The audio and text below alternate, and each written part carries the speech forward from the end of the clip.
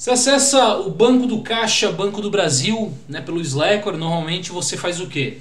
Você faz gambiarra, você usa uma máquina virtual com outra distribuição que tem suporte ao pacote. Né? Por exemplo, lá no site da Arsan, da empresa Diebold, que desenvolve, Diebold, que desenvolve esse software, o Arsan, eles têm a Fedora, tem Debian, tem Ubuntu, tem OpenSUSE, tem até Canaima, que é uma distribuição do governo. Não tem Slacker lá padrão, o pacote lá. Né? Não tem. Não sei porque eles não botam. É a distribuição mais velha em desenvolvimento, não tem. E a gente tem que fazer gambiarra. Tem muita gente que não sabe, mas vai fazer uma gambiarra.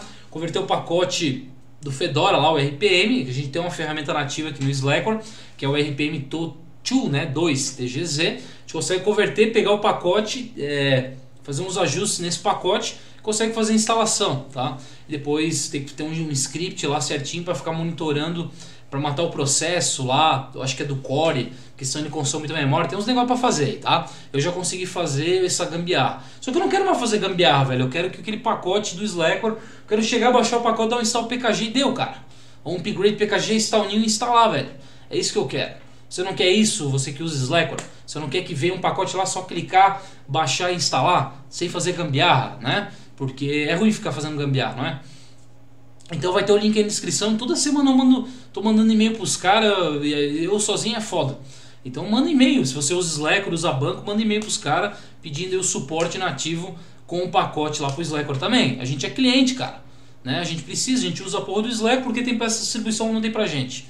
Então Entra lá em contato, só pegar, dá dois minutos no seu tempo e pede lá o suporte lá também. Toda semana eu vou estar tá mandando e-mail pedindo suporte. Cadê o suporte, cara? Eu vou pedir porque eu sou cliente. Né? E eu quero suporte. Chega de usar o VirtualBox ou fazer gambiarra de pacote. Beleza? Esse é o vídeo de hoje. Tá aí no formulário, aí na descrição o link. Entre em contato, a gente precisa do ArSank também, cara. Nativo. Sem ter fazer gambiarra. É isso aí. Daí Bolt, eu vou mandar esse vídeo para você. Se quiser ajuda, velho, eu ajudo, porque não é difícil. não é difícil, cara. Não é difícil fazer, velho. Fui!